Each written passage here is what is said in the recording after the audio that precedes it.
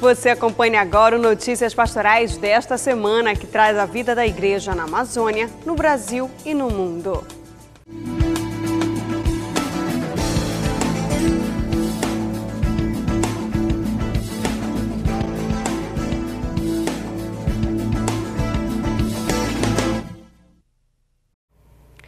Olá, começamos o Notícias Pastorais de hoje falando que a Arquidiocese de Belém está realizando uma das mais importantes ações em comemoração aos 300 anos da criação da Diocese de Belém, a Semana Missionária. Para marcar a abertura das atividades, nesta segunda-feira, durante a comemoração pelos nove anos de Dom Alberto Taveira à frente da Arquidiocese de Belém, foi celebrado o rito de ordenação presbiteral do diácono Humberto Paiva. Ele foi o primeiro diácono permanente a se tornar padre em nossa arquidiocese após o falecimento de sua esposa. Humberto Paiva Brito. Esse é o nome do primeiro diácono permanente a ser ordenado padre na arquidiocese de Belém. Um sacramento que, em geral, é recebido na juventude, mas que, no caso dele, veio depois de 45 anos e 10 meses de matrimônio, três filhas e quatro netos. Eu já tinha conversado com a minha esposa, bem antes mesmo dela estar doente. Nós tínhamos conversado e eu disse a ela assim: se eu ficar viúvo, eu vou pedir a minha ordenação presbiteral. Ela ficou feliz da vida. Eu disse para ela: e se você ficar viúva, você volta o seminário vai ser freira. Aí ela brincou e disse, não, vou continuar cuidando das minhas filhas. Mas eu disse para ela, eu vou. Ela disse, muito bem, que bom. Ela ficou feliz. E de lá para cá, claro, ninguém esperava que ela ficasse doente. Com isso, o rumo da vida do Humberto e de sua família mudou completamente. A gente sempre se reúne em casa, né? nós temos momentos de oração, momentos em que a gente senta para fazer a partilha do pão. E num desses momentos a mamãe já havia falecido e aí ele contou que tinha tido uma conversa com a mamãe, que, é, que, que, haveria essa possibilidade, e aí a mamãe já havia falecido, e ele contou que, que sentia no coração dele o chamado e que tinha muita vontade. Se, o que, que a gente achava disso? Claro, né, que a gente apoiou muito, até porque a nossa família ela vem de uma caminhada dentro da igreja e aí a gente não, jamais ficaria contra uma decisão dessa maravilhosa. Foi uma alegria muito grande, porque o chamado ao serviço né, é uma grande bênção, porque a, a igreja realmente precisa desses trabalhadores.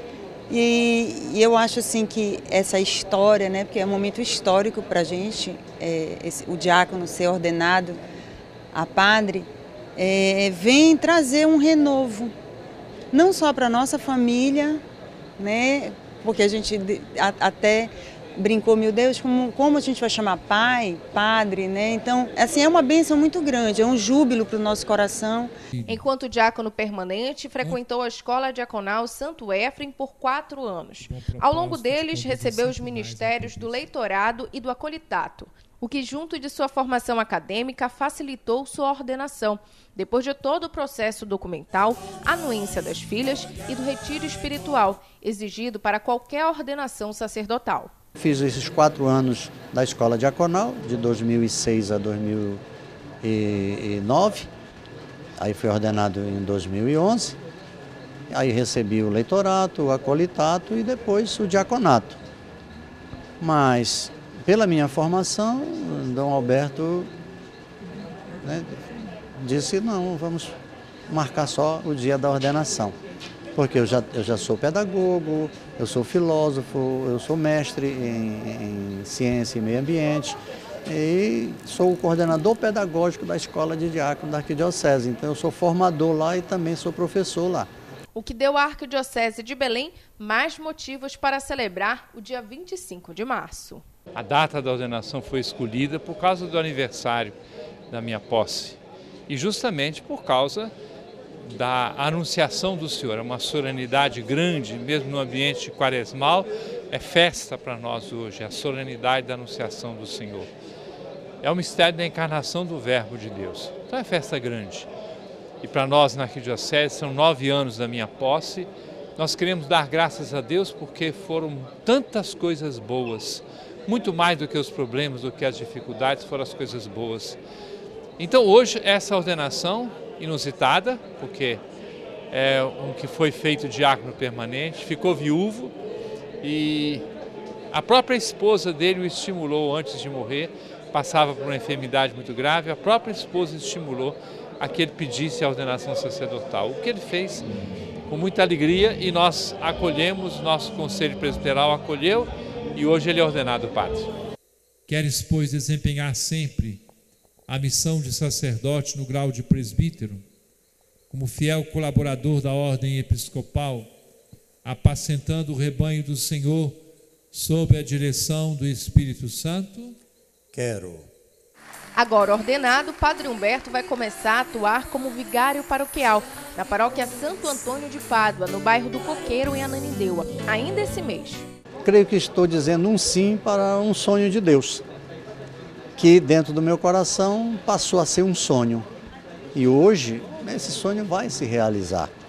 O sonho de Deus que me chamou, eu senti a chamada no coração e estou muito feliz, assim como as minhas filhas estão felizes também, né? e a minha família que recebeu essa tomada de decisão com o coração muito aberto. Contando sempre com o apoio da família. O voto é de uma caminhada é, feliz, né? uma caminhada que a gente sabe que tem muitos espinhos, mas que ele seja pescador de homens, é isso que a gente quer e sempre desejamos isso, né? principalmente eu e meu marido, que fomos é, quem levamos ele, né, devolvemos ele para a igreja. E hoje a gente vê, né, a nossa, nós contemplamos isso, essa felicidade de hoje ele ser padre. Que felicidade, né?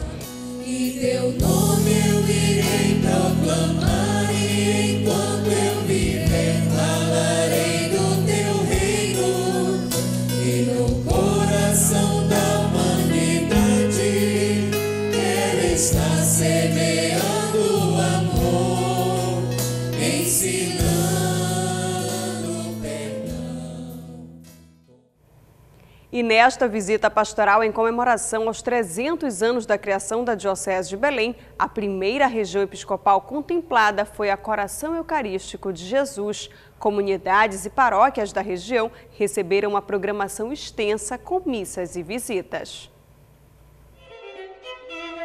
Sair do cotidiano e se doar aos irmãos e irmãs que estão mais afastados de Deus e dos trabalhos da Igreja de Belém. Membros das diversas pastorais da região episcopal Coração Eucarístico de Jesus estão participando dessa programação que faz parte das comemorações pelo terceiro centenário de criação da Diocese de Belém. O bispo auxiliar de Belém, do Antônio de Assis Ribeiro, explica mais sobre a iniciativa. Não podemos simplesmente reduzir a celebração do centenário ao mero olhar fixo para o passado. Deveremos é, reanimar a, a vida missionária do hoje. Portanto, é, a celebração da história requer um repensar, um redinamizar, revitalizar a nossa vida da atualidade, a nossa paixão missionária.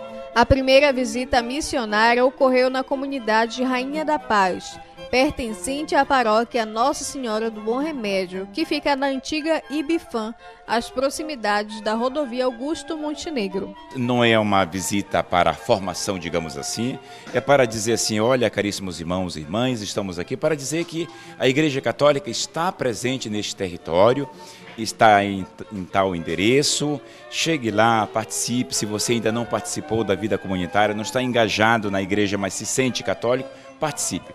O que nós queremos é despertar essa consciência do sentido de pertença dos nossos católicos. Não basta dizer eu sou batizado, eu sou da Igreja Católica, mas sem envolvimento, sem participação, sem vida comunitária. Dona Socorro é uma das missionárias engajadas. É um trabalho gratificante. Só você vivendo, como nós vínhamos conversando, né, para que você possa realmente sentir e conhecer. Só vivendo, sabe, indo ao encontro do outro, do afastado, daquele discriminado, como Jesus pediu, né? É que você sente, sabe? Você sente realmente uma força interior muito grande. Você não tem medo, você não sente sol, você não sente calor, você não tem receio do, do que vem, porque Deus te dá força. Ide e anunciai. É o lema dos 300 anos de criação da Diocese de Belém. A Adriana estava junto com outras pessoas, ajudando a divulgar a boa nova do Evangelho. Está sendo muito gratificante, que é a primeira vez que eu estou fazendo essa visita. Ano passado eu tive essa visita na minha casa. O padre é, me procurou na minha casa para dar a palavra e nesse dia eu me senti muito acolhida porque eu tinha passado um problema anterior muito sério e parece assim que foi Deus que mandou ele na minha casa. E esse ano eu estou participando para ajudar também nessa visita e eu estou me sentindo muito bem. Em uma das residências estava Jamile e a família, que acolheram de forma fraterna as palavras do bispo auxiliar. Eu estou achando maravilhoso, né? Eu acho que quando fala de Deus, qualquer, qualquer momento é muito impróprio. Então, sempre que quiserem vir falar de Deus na minha casa, vai ser bem-vindo. Então, é muito bom.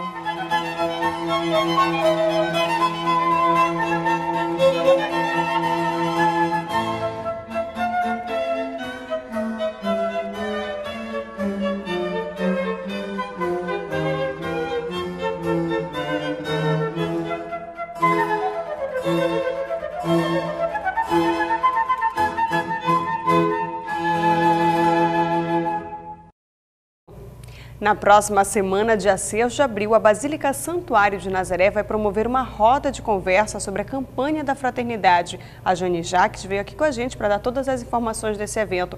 Jane, são várias pastorais, organismos também da Arquidiocese reunidas para fazer esse evento? Isso. O projeto Roda de Conversa surgiu juntamente com a ANEC, que é a Associação de Instituições Católicas, juntamente com a Pastoral da Educação. Então, esse projeto convida todas as pastorais com serviço voltado para o social para conversar sobre o tema da campanha da fraternidade, que é Fraternidade e Políticas Públicas. Então, vai ser uma roda de conversa no dia 6 de abril. Onde vai ser? Será no Colégio Nazaré, é, no horário de 8 às 12, e as pessoas podem estar fazendo a inscrição por um link ou por, pedindo informações pelo telefone de contato 4009-8429. E Janes, tem um público-alvo para participar desse evento? Nós temos. O público-alvo ele é focado para os professores de ensino religioso, pessoas que trabalham em gestão pública no estado do Pará e também para as pessoas que fazem parte da Caritas, é, pastoral da criança, pastoral do turismo, todos que desenvolvem serviço social dentro da Arquidiocese de Belém. E vocês vão ter convidados especiais para falar sobre essa temática? Sim, entre os convidados nós temos o Dom Irineu, né, que é o bispo referencial da Pastoral do Turismo, que irá fazer a abertura do evento, juntamente com alguns políticos e pessoas que trabalham o serviço social dentro da igreja. O evento é gratuito, Janes? É gratuito. Então vai ser no dia 6 de abril, no Colégio Nazaré pela manhã. Quem quiser mais detalhes, então eu vou aproveitar a tua presença aqui para que você faça o convite para quem está assistindo a gente que quiser participar. Então, essa roda de conversa é proposta não somente aqui no Pará, mas em toda a região do Brasil. É, nós convidamos é, as pessoas que residem aqui em Belém para participar conosco desse evento. Nós precisamos dialogar sobre as políticas públicas para podermos chegar em, em um ponto comum e levar essas solicitações para o governo e ver se podemos melhorar é, as políticas dentro da nossa região metropolitana de Belém e as pastorais elas têm esse cunho social, né? Nós precisamos conversar sobre essa temática é, na dinâmica do ver, do julgar e do agir, né? Nós não, não podemos ficar somente na base, que é discutir sobre o assunto. Precisamos agir. Então, essa é a proposta das rodas de conversa. Tá certo, Janis, eu agradeço a tua presença. Então, é a roda de conversa sobre a campanha da fraternidade no dia 6 de abril aqui em Belém, no Colégio Nazaré. Todos os detalhes e informações você consegue pelo telefone que está na tela. Agora, o Notícias Pastorais vai para um breve apoio cultural e a gente volta já. E ainda como parte da programação da visita pastoral na região episcopal Coração Eucarístico Jesus, foi realizada na noite da quinta-feira uma procissão luminosa com o Jesus Eucarístico, que saiu da paróquia de Nossa Senhora do Bom Remédio, no Conjunto Satélite, até a paróquia da Natividade, no Sideral. Ainda não havia anoitecido quando a procissão com o Santíssimo Sacramento, conduzido pelo bispo auxiliar de Belém, do Irineu Romã, saiu da paróquia de Nossa Senhora do Bom Remédio, situada no conjunto satélite bairro do Coqueiro, em Belém. Centenas de peregrinos, entre eles ministros extraordinários da Eucaristia, coroinhas, agentes de pastoral, movimentos e leigos participaram da caminhada. Pouco mais de 3 quilômetros separam as duas paróquias que fazem parte da região episcopal Coração Eucarístico de Jesus. É uma grande bênção para todos nós. Essa missão missionária, a gente só tem a agradecer a Deus e por esse momento.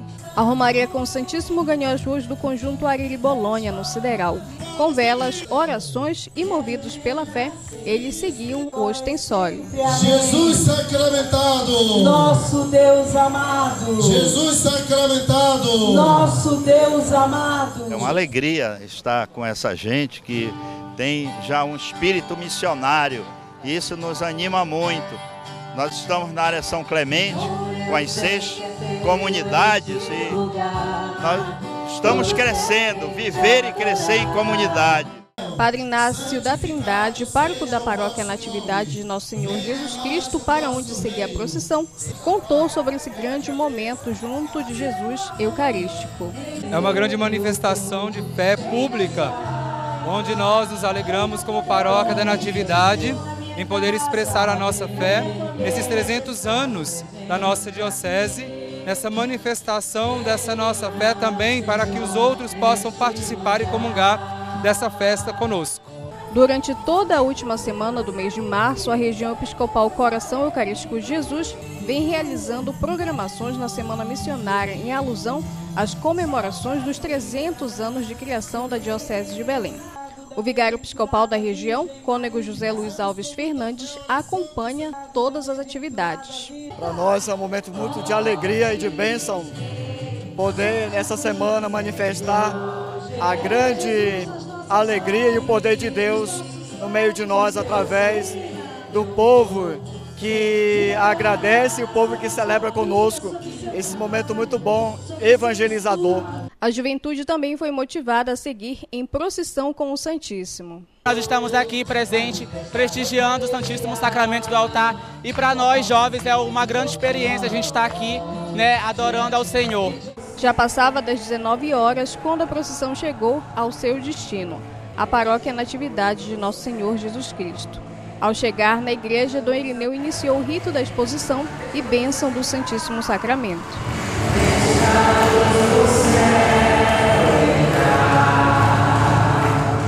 Está sendo uma graça muito grande essa semana missionária aqui na região do Coração Eucarístico de Jesus, porque todas as paróquias, os grupos, os serviços das pastorais, as comunidades, os clero, diáconos, vida religiosa, missionários e missionárias estão se mobilizando nas procissões, nas celebrações. Nós iniciamos a semana com a ordenação do Padre Humberto, depois eh, fizemos já algumas visitas missionárias em determinadas áreas da região do Coração Eucarístico, com muito entusiasmo, muita dedicação, muito amor pela, pela ação missionária dos nossos missionários. E hoje nós estamos, assim, dentro da semana ainda, nessa procissão eucarística, onde saímos da paróquia do Bom Remédio até aqui da Natividade, nessa linda noite que e nós queremos dar graças a Deus, dar louvores a Deus, adorar o nosso Deus, que se faz presente no coração deste povo, esse, esse povo que é um povo abençoado, e que nós, como igreja, queremos ser uma presença de misericórdia, uma presença de bondade e de paz cada vez mais, cada vez melhor. Graças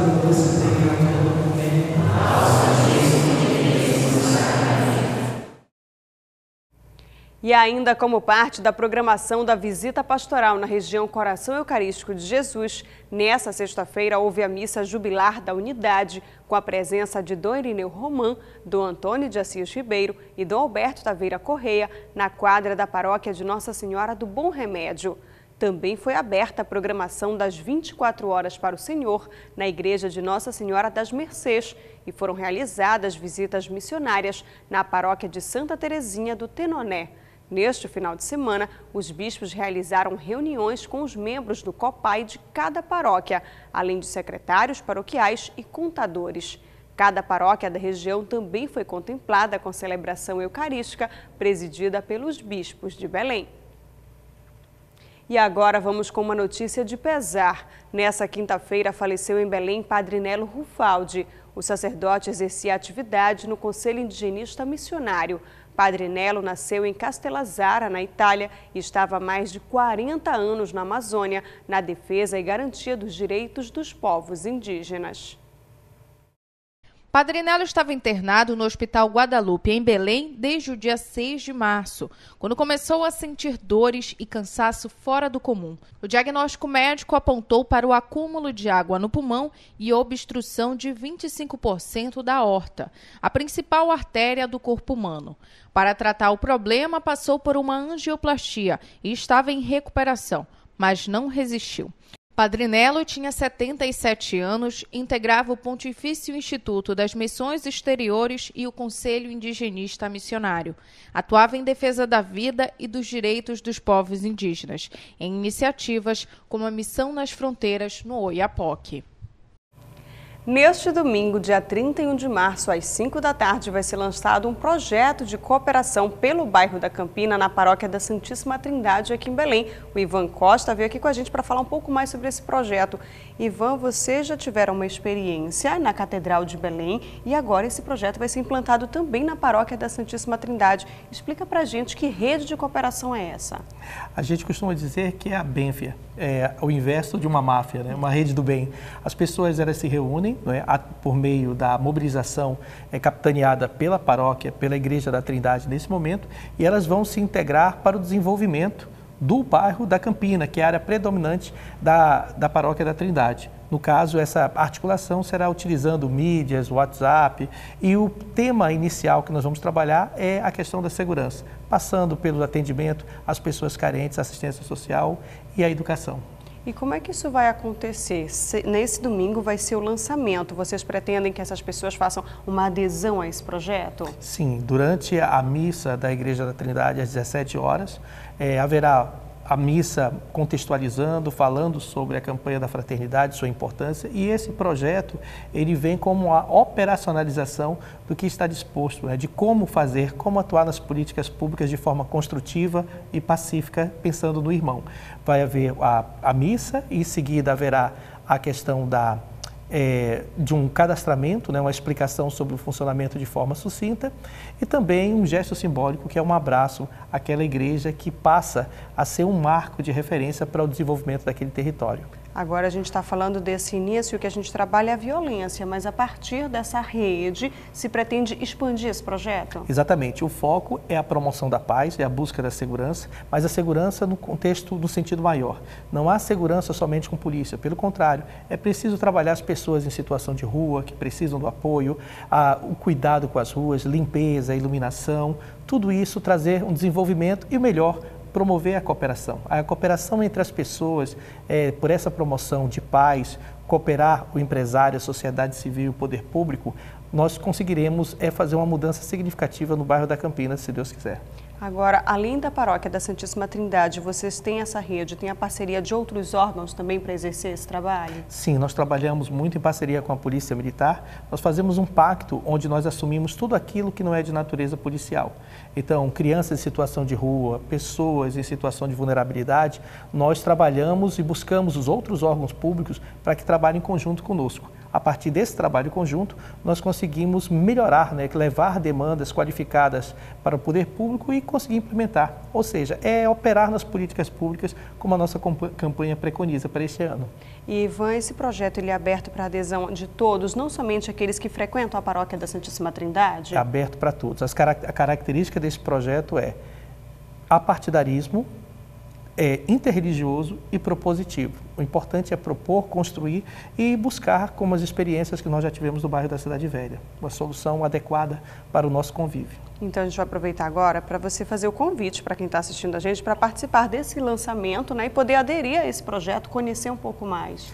É, nós convidamos a todas as pessoas, né, principalmente nesse momento especial que é a Quaresma, onde a campanha lembra sobre o outro, o irmão, a fraternidade e como atuar nas políticas públicas. Independente do bairro que você é, se você quer aprender a atuar nas políticas públicas, pode começar ali pelo bairro da Campina. Está aberto, o importante é ter essa disposição para cooperar e nós certamente vamos trabalhar em conjunto e vivenciarmos uma experiência muito rica que é de transformação dessa nossa sociedade para melhor. Obrigada, Ivan. A gente espera aí que todos que queiram mais informações também podem entrar em contato pelo número que está na tela. Vai ser neste domingo já o lançamento oficial na Paróquia da Santíssima Trindade, na missa das 17 horas. Logo depois, todos poderão aderir ao projeto, fazendo esse grande abraço à paróquia lá na Praça da Trindade. O Notícias Pastorais agora vai para um breve apoio cultural e a gente volta já.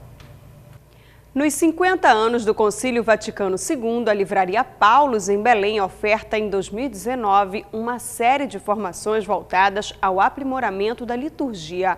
Agentes de pastoral, equipes de liturgia paroquiais, padres religiosos e religiosas e seminaristas são o público-alvo das formações. A formação ocorre um sábado por mês até o final do ano no auditório da livraria. A primeira aula é sobre a instrução geral do missal romano proferida pelo padre Agostinho Cruz, vigário episcopal da região São João Batista, bacharel em teologia e filosofia.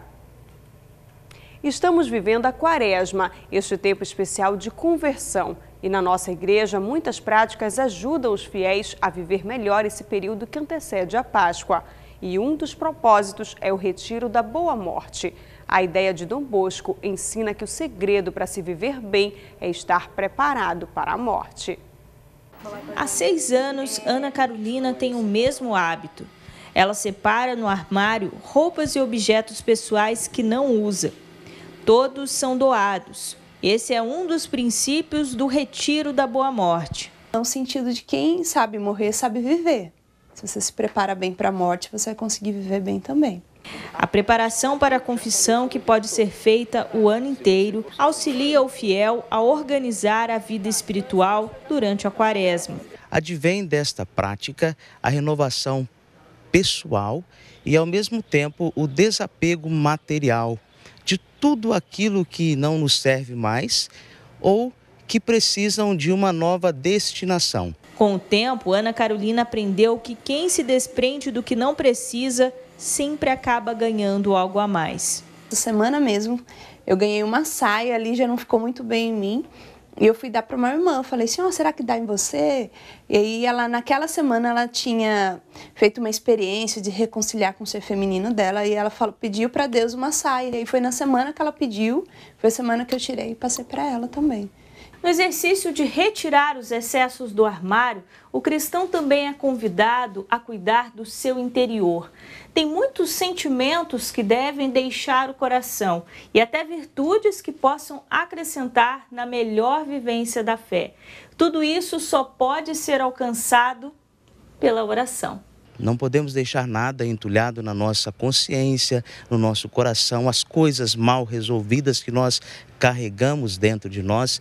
Este é o tempo favorável para realizarmos um bom retiro da boa morte. No caso da fonoaudióloga, o hábito trouxe à tona algumas qualidades que mudaram seu dia a dia. Interessante que quando a gente vai mexer no guarda-roupa, você fala assim, nossa, nem lembrava que eu tinha isso. E às vezes a gente mexendo ali, nossa, ainda tenho isso de bom dentro de mim também, né? Então não é só um movimento de tirar, de descobrir coisas boas, de coisas ruins, mas também de descobrir coisas boas. Com a preparação adequada, o tempo mais importante para a igreja, a Semana Santa, será vivida com mais intensidade. Aquele silêncio interior e também das coisas externas, né?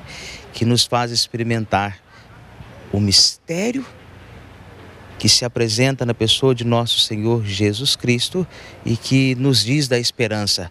A morte não teve a última palavra. Então, a cruz foi o caminho pelo qual Deus nos trouxe a salvação. E falando neste tempo de preparação para a Páscoa, a juventude da paróquia do Bom Pastor, em Marituba, na região metropolitana de Belém, se prepara para apresentar a Via Sacra no dia 6 de abril. O evento iniciará na quadra da paróquia, localizada na JSN Parque das Palmeiras, às 4 da tarde. Os jovens convidam o povo de Deus a meditar com os paroquianos o caminho de Jesus Cristo ao Calvário. E vamos agora com notícias do Vaticano. O Papa Francisco visitou nesta terça-feira a Prefeitura de Roma. Durante a visita, ele agradeceu à administração pela ajuda em grandes eventos religiosos que acontecem na cidade, berço do cristianismo, e ressaltou o valor da capital, seja para a história ou para a religião. Francisco foi recebido pela prefeita de Roma, Virginia Aradi. No escritório, foi até a sacada de onde se vê os fóruns romanos e depois seguiu para uma conversa privada com a prefeita. Essa é a primeira vez que Francisco visita o Capitólio. Francisco é o quarto Papa a visitar a Prefeitura de Roma. O primeiro foi Paulo VI em 1966, no encerramento do Concílio Vaticano II.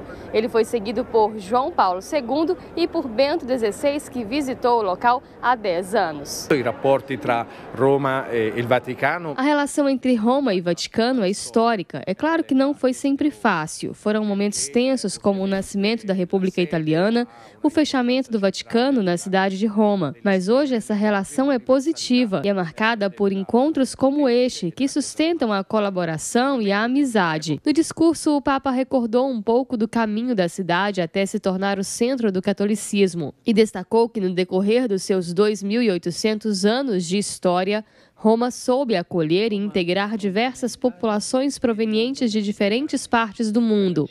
Francisco afirmou que, por ter aqui a sede da Igreja Universal, o poder temporal e espiritual dialogam constantemente para colaborar com tantos que chegam para visitar o túmulo de São Pedro. Grande tema do pellegrinaggio. A peregrinação é certamente algo que caracteriza a cidade de Roma, seja por causa da fé, mas também da cultura e arte. Mas existem momentos particulares, como os grandes eventos e os jubileus. São situações em que o prefeito de Roma se torna uma autoridade fundamental para o trabalho da igreja. Posso dizer que a relação do Papa com a prefeitura de Roma é a de um bispo com a administração da sua cidade. É quase o rapporto entre o Papa e a sua cidade. A Cidade Eterna é como um enorme cofre de tesouros espirituais, históricos, artísticos e institucionais. E, ao mesmo tempo, é o local habitado por cerca de 3 milhões de pessoas, que são a honra e a fadiga de cada administrador, de quem quer que se empenhe pelo bem comum da cidade. Sobre o crescimento do número de imigrantes e refugiados, Francisco convidou uma criatividade capaz de acolhê-los e integrá-los. Roma é cidade de pontes, jamais de muros. O Papa também discursou ao povo de Roma. Da sacada do prédio, pediu que, segundo a capacidade de cada um, cuidem uns dos outros e respeitem para assim revelar o rosto luminoso do cristianismo. Saudou também os que não compartilham da mesma fé e encorajou a todos a serem artesãos de fraternidade e solidariedade. Aos funcionários da prefeitura agradeceu o empenho. O trabalho silencioso e fiel que vocês fazem contribui não apenas para melhorar a cidade, mas tem um grande significado pessoal para cada um, porque o modo como trabalhamos exprime a nossa dignidade e o tipo de pessoa que somos.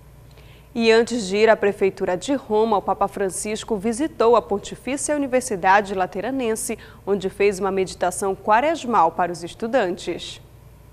O Papa chegou de surpresa na Universidade da Diocese de Roma e foi acolhido com festa pelos estudantes. Eles estavam reunidos para ouvir uma reflexão de quaresma, que foi feita pelo próprio Papa. Ele afirmou estar ali como bispo de Roma, ou seja, pastor daquela faculdade. Um estudante nos enviou vídeos do momento. Na reflexão, Francisco falou sobre a confiança nas promessas de Deus, a esperança que renova o ânimo, a relação e abertura à experiência do povo e uma cultura e estudo capazes de dialogar com o mundo. Na hora de encerrar, arrancou risadas dos estudantes, dizendo a eles para nunca perderem a juventude e nem mesmo o senso de humor. Voltamos agora a falar da Páscoa. Aqui na Arquidiocese de Belém, o Sermão das Sete Palavras na capela do Colégio Santo Antônio, este ano será pregado pelo padre Moisés do Socorro Matos, pároco de Santa Maria Gorete, no Guamá. Já o Sermão do Encontro na Igreja das Mercês será pregado pelo padre Ivan da Conceição, pároco da paróquia de Nossa Senhora do Amparo, e o Sermão do Descendimento da Cruz na Catedral pelo frei Edilson Rocha da Silva, pároco de Santo Antônio de Lisboa. E nossa última reportagem de hoje é sobre a visita que os conselheiros do Tribunal de Contas dos municípios do estado do Pará fizeram aqui na Arquidiocese de Belém. Eles vieram formalizar uma parceria entre as entidades a fim de fomentar as perspectivas da campanha da fraternidade deste ano, que tem por tema Fraternidade e Políticas Públicas. A reunião foi realizada no gabinete do arcebispo de Belém, Dom Alberto Taveira Correa, situado na Cúria Metropolitana. Na ocasião estiveram presentes conselheiros e conselheiros substitutos do Tribunal de Contas dos municípios do estado do Pará. Entidade que administra as câmaras municipais no controle externo da administração financeira e orçamentária dos municípios, tendo sua sede na cidade de Belém e jurisdição em todo o território do estado do Pará. O foco da reunião foi promover mecanismos que ajudem a divulgar as ações de transparência do TCM referentes aos serviços de controle social, em sintonia com a temática da campanha da fraternidade. Eu gosto de repetir que a campanha da fraternidade é uma campanha de opinião pública. Ora, se a nossa ideia de uma campanha da fraternidade, uma campanha pela fraternidade, ressoou e repercutiu de uma forma tão positiva no Tribunal de Contas dos Municípios do Estado do Pará, é o sinal de que a campanha da fraternidade está produzindo seus frutos. Quando fui procurado pelo tribunal e veja só a presença dos conselheiros e conselheiras, significa muito. É uma adesão de um órgão público, de um órgão de controle social, a uma iniciativa da Igreja Católica no Brasil. Isso para nós suscita esperança, porque nós podemos colaborar e já vamos fazer na reunião do clero essa iniciativa de passar para os padres o que o, o conselho é, está, o, o Tribunal de Contas está oferecendo para que nós trabalhemos na consciência do nosso povo. Para o presidente do Tribunal de Contas dos Municípios do Estado do Pará, o conselheiro Sérgio Leão, a parceria é uma ótima oportunidade para tornar ainda mais acessíveis as ações da instituição. Nós achamos que nós temos ferramentas e instrumentos que poderiam somar com a intenção da Arquidiocese durante a campanha da fraternidade. Nós temos um trabalho muito grande que envolve conselhos sociais, envolve população de maneira geral, e como nós atuamos no controle externo das contas e das gestões municipais, nós entendemos que a gente pode dar uma participação efetiva na construção desse relacionamento da arquidiocese, do tribunal, junto com a sociedade. O Notícias Pastorais vai ficando por aqui e lembro que vocês podem ajudar a produzir o nosso programa enviando sugestões reportagens, divulgando os eventos de sua comunidade pastoral ou paróquia através do nosso WhatsApp, o número é 988023444. A todos obrigada pela companhia e um ótimo final de semana. A gente se encontra no próximo programa. Até lá!